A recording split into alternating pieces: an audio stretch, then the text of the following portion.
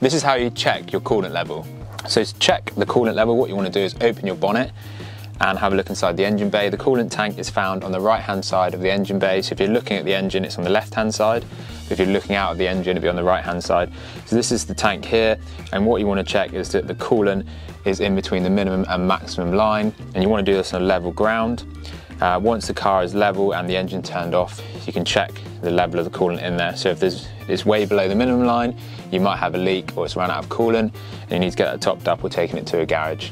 On the coolant tank as well, it normally tells you which coolant you need. So that tells you which coolant should be going into the system. So there you go. Hope that was helpful.